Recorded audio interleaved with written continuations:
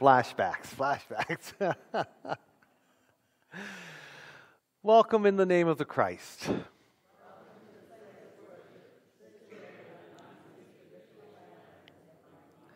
Welcome to this place of retreat, this place of refuge, this place of worship, this place of wonder. It is indeed good when we gather as God's people to celebrate our faith with each other. And a warm good morning to each of you. Well, it's a cool good morning, isn't it? A little cooler than what we've been used to. Uh, so, a warm welcome to each of you. To those who are sharing with us um, on Facebook Live, we certainly welcome you as well in our midst. And we hope that you'll feel very much a part of this worship time this morning as if you were here. This morning, our sympathy goes out to um, Errol um, Burgoyne and Sandra Weeks on the death of uh, Errol's uh, mother, who died this past uh, past week. So our thoughts and our prayers are certainly with Errol and Sandra as they mourn, and the family uh, as they mourn the loss of a loved one, a mother, and and um, and whatnot. So our thoughts are with that family. Just a few of the announcements. Um, first, after worship, there's a time of fellowship out back. Uh, yeah, out out here, we're going to have some hot dogs and other stuff. So uh, coffee and tea. So please stay and join us. This is the welcoming back to our Sunday school. Welcome back. and uh, when you go out, take your coat with you because I think there's stuff going to be happening outside that's planned. So you might want to do that. So, anyway. Um, just a, yeah, let me see here. My morning got really started off kind of rocky. I put my gown on backwards, and I was trying to fumble with it to put it on, and it's, I said, "Why isn't that working?" And anyway, so uh, that that might be a, a precursor to how the morning is going to unfold with my leadership in worship. Uh, just there's not many announcements really. Um, just a reminder that our puzzle and book exchange is still happening out here, and as the night, the days get shorter, nights get longer, puzzles uh, come out, and uh, and different things. So please avail yourself of that. We're always looking for, or George is always looking for pop can pulls. So, uh, and I think he's been uh, he's getting good response uh, from that. So uh, yeah, so he's got some over there. So keep them coming in. It's to a good cause. Um, also, the Camp Abegweit fundraiser dinner. Camp Abegweit is a church uh, youth camp up in Augustine Cove. And uh, you're asked to reserve Saturday, September 28th at 6 p.m. for the Camp Abbey fundraiser dinner. And it's written in, in your bulletin if you'd like to go and support that particular venue. Also, Central Queens Takeout Fall Supper. I was a little leery to even mention it this morning. but uh, it's uh, noted, it's, it's in November 2nd, so it's a, it's a good ways away. Uh, and the notes are there. And if you would like to, um, uh, uh, for tickets, you can contact your leader or Debbie Ling, and Debbie's number is in the bulletin if you might like to get a ticket for that. And again, it's a takeout, it's a takeout supper. There are other announcements in the bulletin. I trust that you will have a look at those and be about those uh, items that, uh, that uh, you need to be about. Uh, are there any other announcements that need to be shared?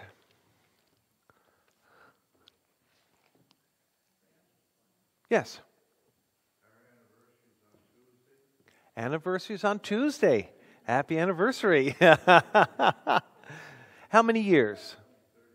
31 years. Wow. Congratulations. Congratulations.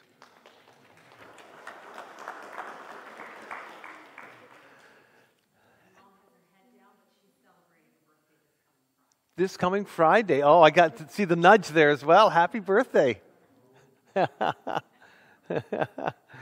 Excellent. So it'll be a big party there to come this week. No, just another number. Any other happenings? Well, I went to my trusty calendar And I know that uh, Jensen Stead's birthday is today. So if you're watching Jensen, happy birthday to you. And Howard and Jackie Lear's anniversary is coming this week. So they're celebrating an anniversary. Peter Singleton on the 27th is his birthday, so he's going to be celebrating. And uh, Sarah Weeks, I think, on the 28th is celebrating a birthday as well. So we do have lots of birthdays happening and lots of celebrations within our community.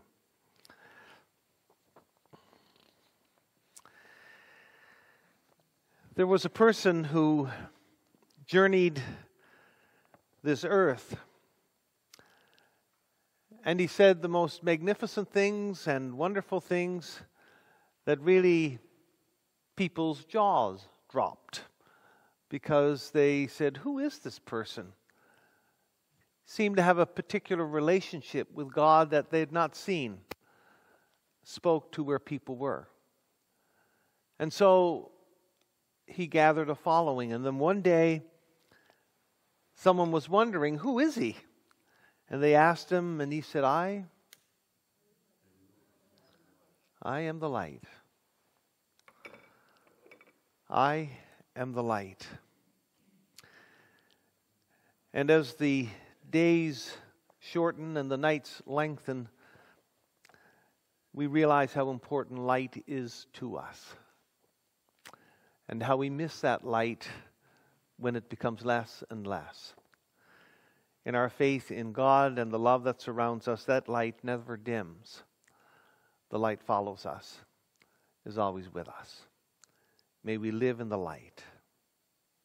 Let's take just a few moments to allow that light and the light of the world and the light of God find a place within our hearts to warm us and to hold us and cradle us in worship and beyond.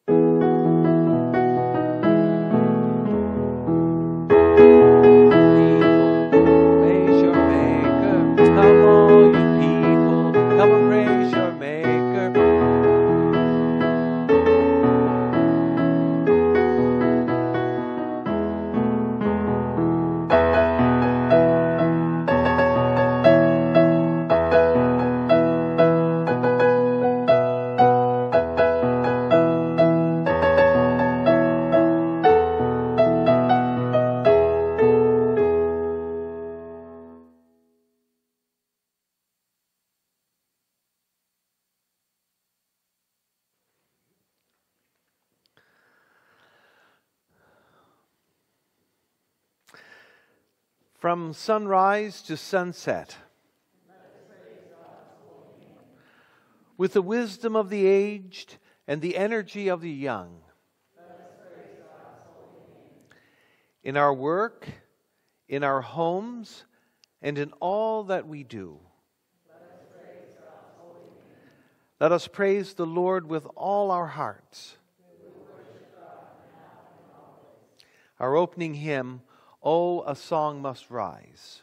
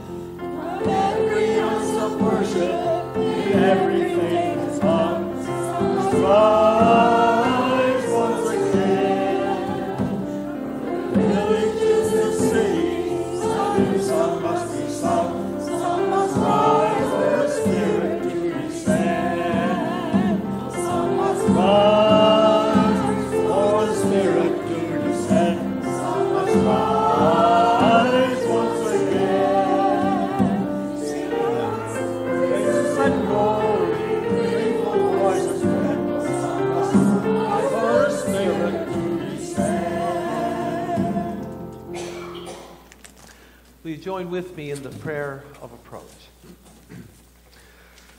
Good God, make yourself known among us. We lift our voices in song, our hearts in prayer, our minds in consideration, our lives in adoration toward you. We acknowledge that your Spirit leads, comforts, and challenges us as we follow you. And with Jesus, we share in this ancient prayer. Our Father, which art in heaven, hallowed be thy name. Thy kingdom come, thy will be done on earth as it is in heaven. Give us this day our daily bread, and forgive us our trespasses, as we forgive those who trespass against us. And lead us not into temptation, but deliver us from evil. For thine is the kingdom, the power, and the glory, forever and ever. Amen. Our psalm reading this morning is from Psalm 1.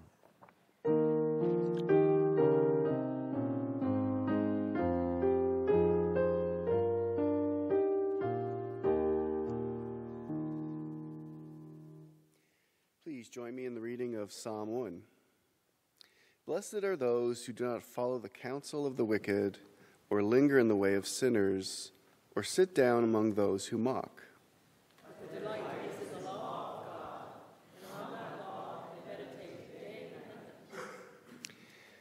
They are like trees planted beside streams of water, yielding their fruit in due season.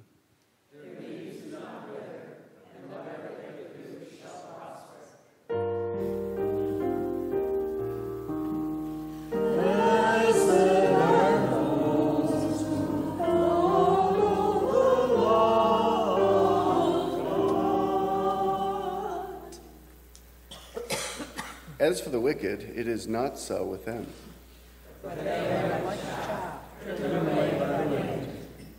Therefore, the wicked shall not be able to stand when judgment comes, nor sinners in the assembly of righteous.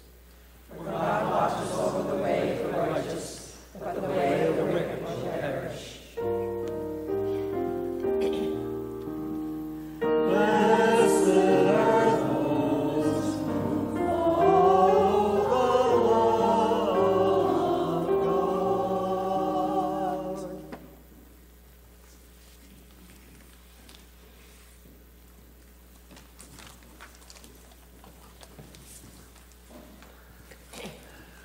next hymn is uh, it's a song of praise to the Maker.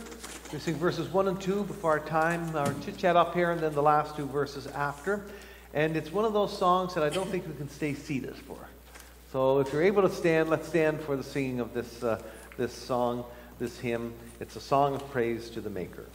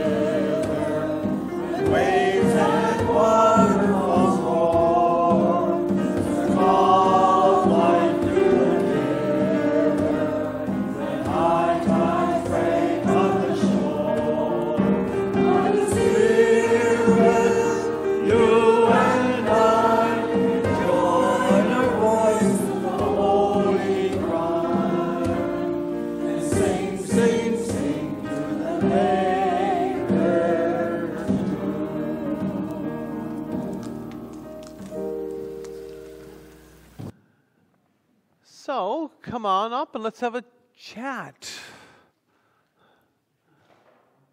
Welcome. Good to see both of you this morning. Let's sit down. Uh, how are we doing? Are you all ready to go outside? It's going to be nice outside. I think the sun is even shining. I think the sun will be shining exactly where you go, but uh, other areas might be rain. I don't think that'll happen. Well, it's good to see you. And I brought something here this morning. And what do you think? What do you think about this? A door. And what's the picture about? What's interesting about the door? Two handles. Yeah, you can open. Yeah, two doors there. What else? Can you see in? You can see in. And what's what are those things here? Locks. Now, do you suppose those doors are locked? What do you think? Do you think they're locked? Locked? Yeah. And uh, what else do you? What else? Does it look inviting? Does it look like it's it's inviting? It does. What would make it more inviting? Put decorations up. What if, what if there was a decoration like that? Do you see what's there? the mat, that's right. And it's not just any old mat, is it? It's a welcome mat. So, right there, what would make this door more welcoming, do you think? If the door was open? Would that be welcoming? And unlocked? And what else would make it more welcoming? Say someone from the house who lives there.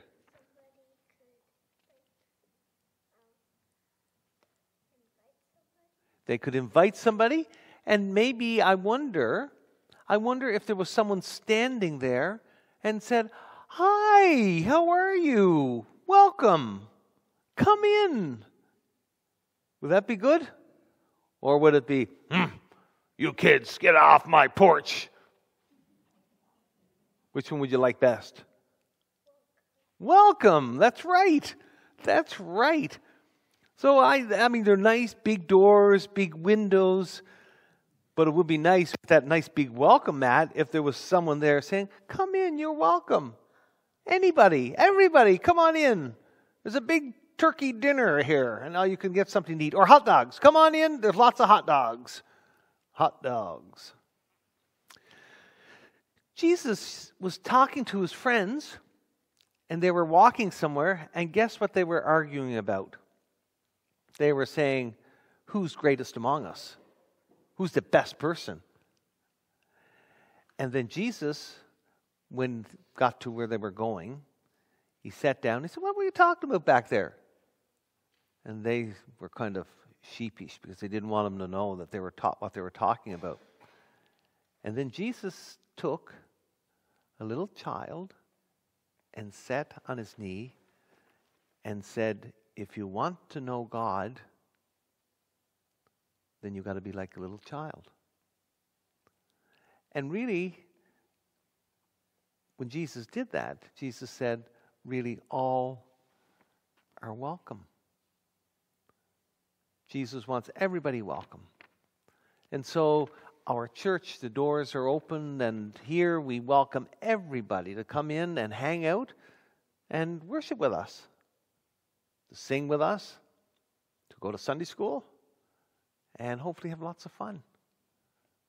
So, when I think about God, I think about God who's welcoming. Like there's a big mat in God's kingdom which says, Welcome. And God hangs out outside and says, Hey, come on in. Hang out with me. And it doesn't matter who we are. And that's something I think pretty special. Because we all want to feel welcomed. Do you want to feel welcomed? Do you like when you feel welcome? Yeah. And what about loved? What, do you like feeling love? Yeah. And I think that God gives each of us uh, gifts to be able to love each other. And God says, I really love you too. So I hope you're going to enjoy this morning. And afterwards, hot dogs and some other things that we have out back, or not, some of the women have done some really cool stuff to make this happen, and we thank them. And uh, we'll hang out out there and uh, be able to chat. But I think there's something happening, something special happening as well. I think Kim planned something pretty special. So let's have a prayer. Thank you, God, for open doors. Thank you, God, for welcome mats.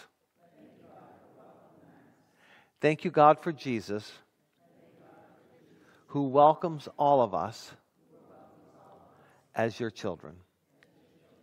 Talk to you later, God. Oh, Amen. Thank you so much. Now you got to get something warm. Do you have your skidoo suits? No? Rubber boots? Oh, you got your sweater. So there we go. Have fun.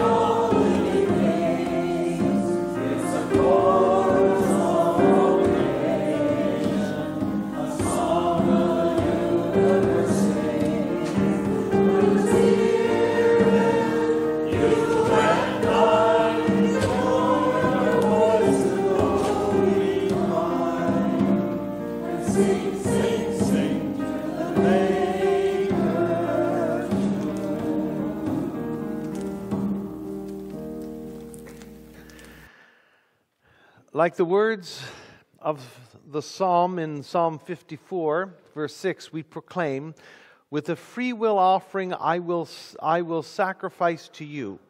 I will give thanks to your name, Holy One, for it is good. Let us give with the generosity of love made real, make, made available, and made free. Your morning offering will now be presented.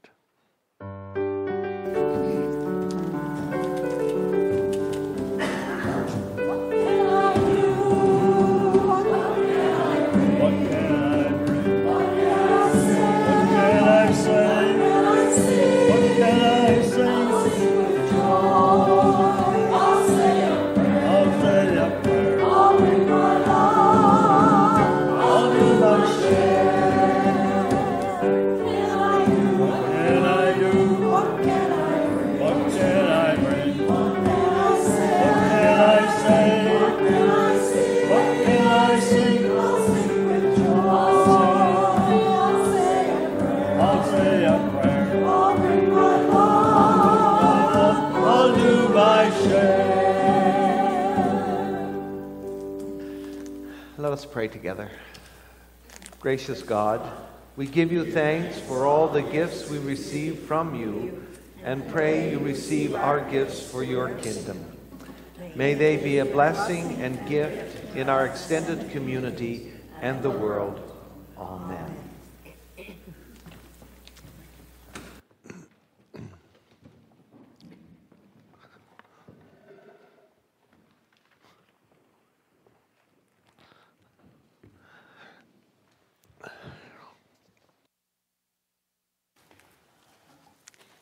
Good morning. My name is Janice Johnson. Please join me in the prayer of understanding. Let us pray. Shine the light of your word on the path ahead, O God. Help us choose the way of your wisdom so that we may bear fruit and that is pleasing to you and shines your light into the world around us. Amen. This morning I'm reading from Proverbs 31, verses 10 to 31, a tribute to a capable woman. A woman of strength, who can find?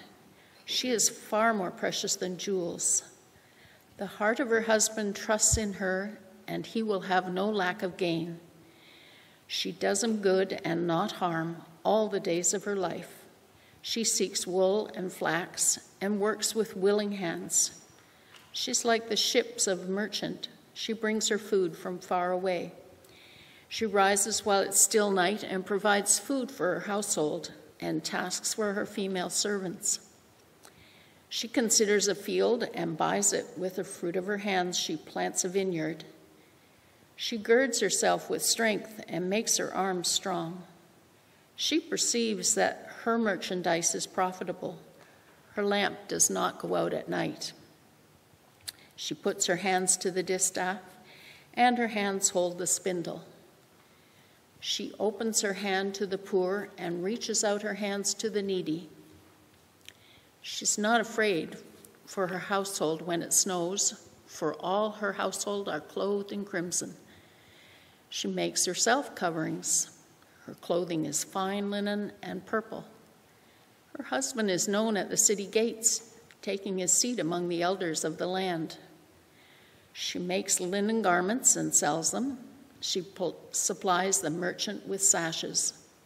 Strength and dignity are her clothing and she laughs at the time to come.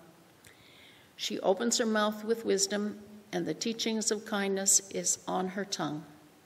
She looks well to the ways of her household and does not eat the bread of idleness. Her children rise up and call her happy, her husband too, and he praises her. Many women have done excellently, but you surpass them all. Charm is deceitful, and beauty is vain but a woman who fears the Lord is to be praised. Give her a share of the fruit of her hands, and let her works praise her in the city gates.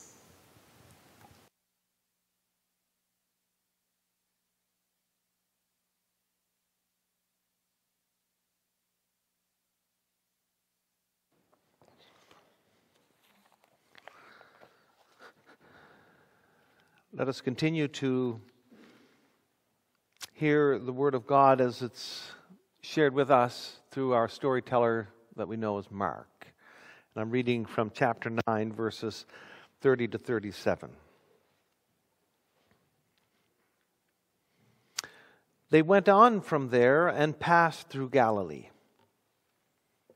He did not want anyone to know it, for he was teaching his disciples, saying to them, The Son of Man is to be betrayed into human hands and they will kill him. And three days after being killed, he will rise again. But they didn't understand what he was saying, and they were afraid to ask him. When they came to, to Capernaum, and when he was in the house, he asked them, What were you arguing about on the way? They were silent. For on the way, they had argued with one another about who was the greatest. He sat down and he called the twelve and he said to them, Whoever wants to be first must be last of all and servant of all. Then he took a little child, put it among them, and taking it in his arms, he said to them, Whoever welcomes one such child in my name welcomes me. And whoever welcomes me welcomes not only me, but the one who sent me. May these words and these thoughts find places in our hearts where we're both challenged and where we find hope. Amen.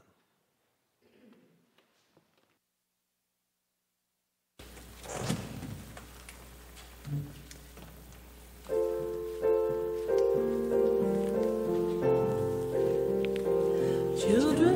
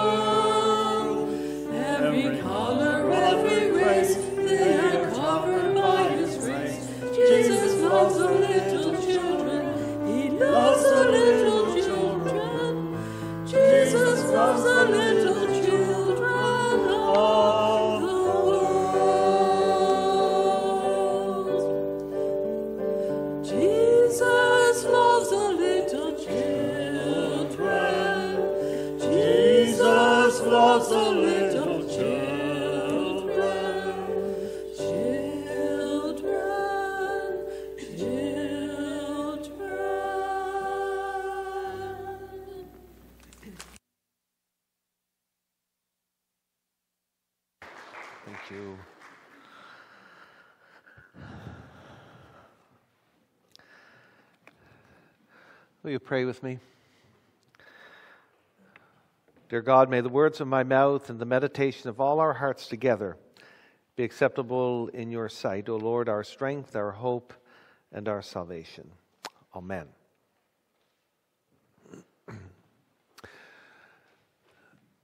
So, when was the last time you gathered as a group? You, made a, you might have had some company in, or you were in an informal group talking, and the discussion moved towards, well, who's the greatest in the group? When did you have that discussion lately? Maybe not. And maybe that would be a really good official board meeting topic, Roland. We can talk about that. At the, maybe we can put it on for that for, Sun, uh, for our next. yeah, it's a long pedestal to fall. So yeah, it's not something we talk about, is it? It's really not something. It's so inappropriate. Who's greatest among us? It's, uh, and yet, I'm sure there are times when people look around any group and think, well, who has the power here? Who's the power broker within the group? Who's the one who's, who's, who's the most powerful? Who's the greatest here? And I bet my bottom dollar on this that if you were to survey a congregation, our congregation today or earlier today and ask that question, it would not be a child who you or I would name as the greatest. Our scene from the gospel has a group of weary disciples and Jesus on the road walking to Capernaum. And as is the custom, when a group of people get together, they usually have a good yarn, a good discussion, a good conversation. The, the discussion that day centers around who is the greatest among them. Now, it seems to have created a little heated debate between the disciples. And when they arrive at Capernaum, Jesus inquires, Well, what was all the fuss happening there? What was going on? What were you talking about? And he's greeted with silence. No one says anything. Now, it's interesting, Jesus doesn't scold them. He doesn't tell them, You ought not to strive for greatness. He doesn't lay a guilt or shame trip on them about their ambitions. He doesn't go down that lane. He simply says that they ought to understand what true greatness entails. They need to have a clear vision, a clear picture of what constitutes greatness in the understanding of the teachings that Jesus was sharing and, his, and in his relationship with God. I'm sure many of you here remember Red Skelton. Yes, yes, yes, yes, Red Skelton. Well, Red Skelton, well, his name was Richard Red Skelton, was an American entertainer, and he had a national radio and television uh, shows from 1937 to 1971. And of course, most of us will remember the television show, the Red, the Red Skelton Show. And uh, he was quoted as saying this, which he said, I don't want to be called the greatest or one of the greatest. Let other guys claim to be the best. I just want to be known as a clown because to me, that's the height of my profession. It means you can do everything sing, dance, and above all, above all, make people laugh. For Red Skelton, greatness came in, the in his ability to make people laugh, and he did a good job at that. Now, for Jesus, real greatness comes in developing the attitude and the ability of people to serve those who are invisible. Those in our society who are nameless, those who are invisible. Jesus says if you want a place of honor, you must become a slave and serve others. Greatness, prestige, honor in this kingdom of God is given to those who make themselves the servant of those who have no power, those who are on the periphery of society, those whom the respectable, any respectable person could never, ever talk to, meet, or socialize with. We are told that during the conversation with the disciples, Jesus takes a child and places them on, uh, in the middle of them. Of course, the child represents all those who are weak and vulnerable in society. In Jesus' society, the child was probably the lowest person in society. The child is the metaphor for the poor, the dispossessed, and all those who are powerless and unable to stand for themselves. The true measure of greatness of faith, of a faith community, of a nation, of any people, is how they treat the weakest and the lowest among them. Jesus says, if you want a place of honor in the kingdom of God, go to those who have eyes to see the child, to see the invisible in our society. So, who are the nobodies, the invisible in our world? I don't think we sit at Tim's sipping our coffee, identifying who those people or the nobodies are. I want to believe that there are no nobodies in our society.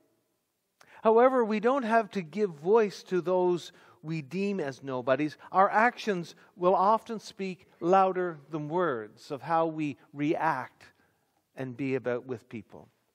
The nobodies who have identified well will be people moving around our lives that we somehow really never see. Maybe it's the whole host of people who are living under the poverty line.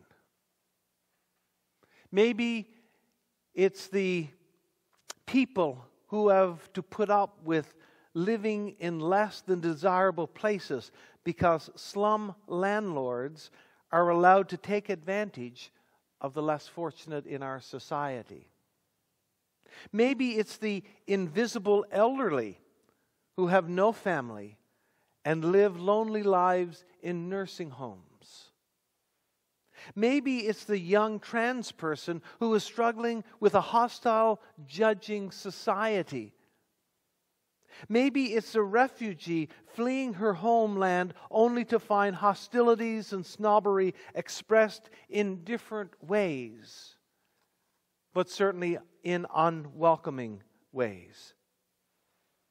Maybe what Jesus is telling his disciples is part of the greatness is the ability to see those nobodies and to care for them. To put ourselves out there to be for and with people who are on the periphery of society. There are so many different paths to greatness as there are definitions about greatness. But Jesus wants his closest friends to know that if they want to talk about greatness in the kingdom of God of which Jesus speaks, in that kingdom, he is talking about the need to know the standard by which greatness is measured. If anyone wants a place of honor, you must become a slave and serve others. In the great scheme of life, I guess we could say that we are all nobodies. But Jesus, but because Jesus in God drew near to us, God chose to care for us when we were nobodies. Through the many actions and examples of Jesus' life, we understand Jesus, God, who offers grace and love, because while we were yet far off, God drew us in and redeemed us as God's people, as God's children. To live in the kingdom identified by Jesus is to know that we have been given more than we have ever deserved. And so we can give to those the gifts, so in turn, we can give to those the gifts of recognition, the gifts of service, the gifts of love. It is only in that service of seeing the unseen, standing with the oppressed, giving voice to the voiceless, will we, the church, our society, find true greatness.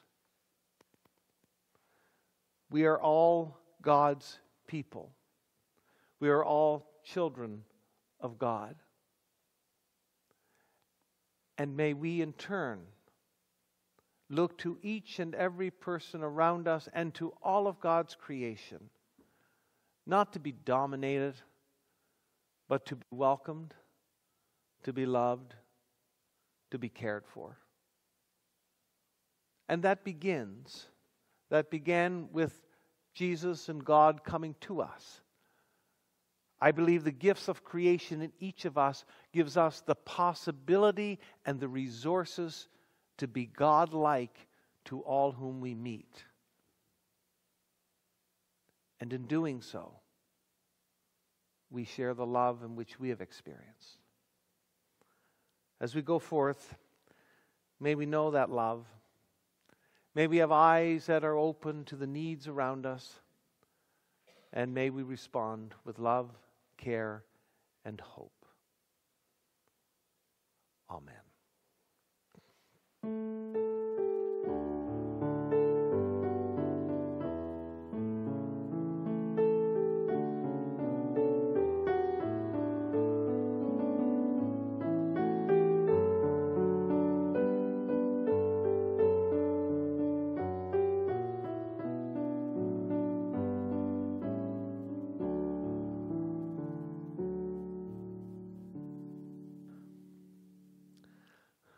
Let us pray.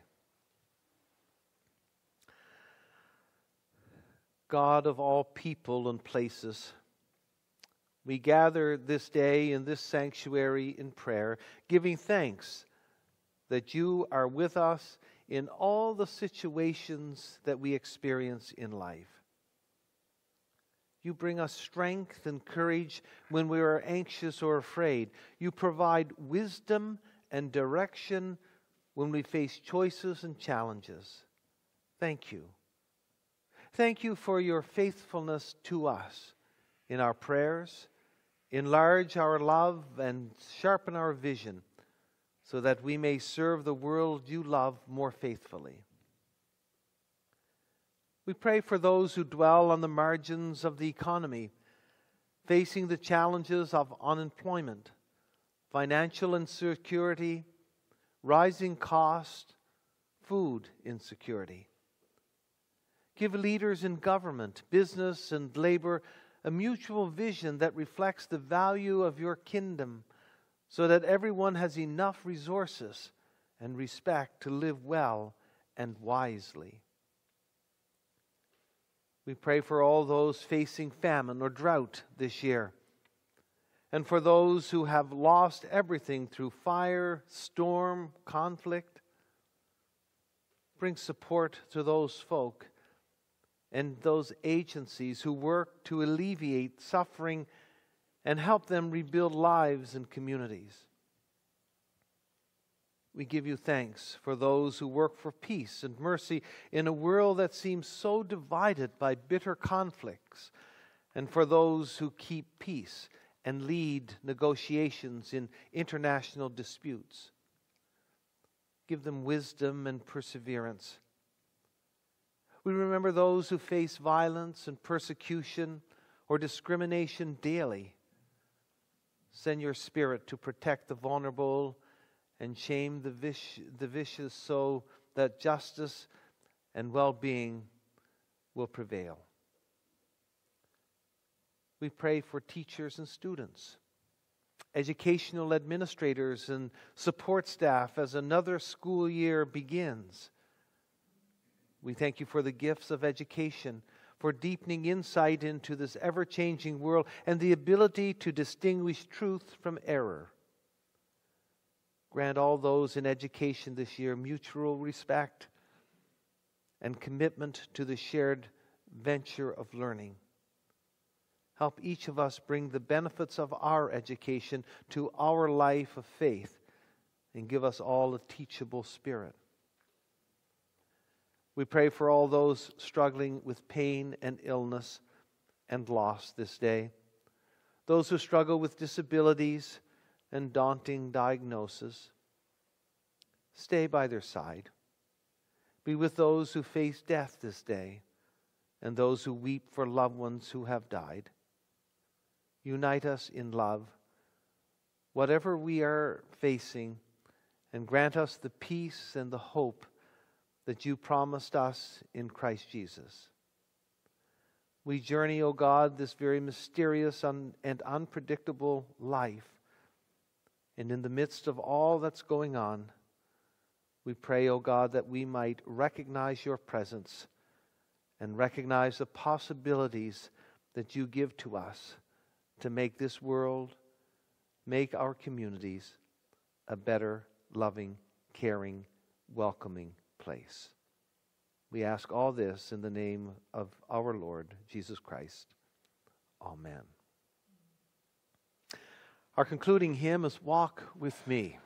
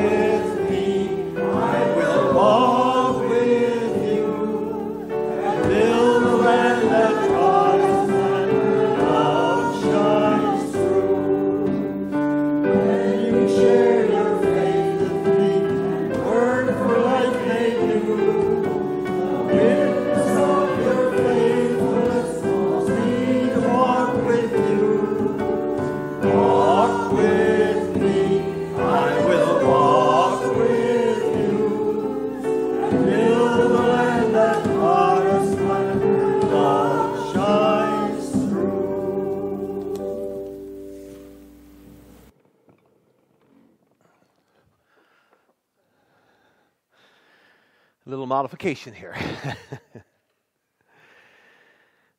I'm going to change the light. The light is not gone, it's just changed.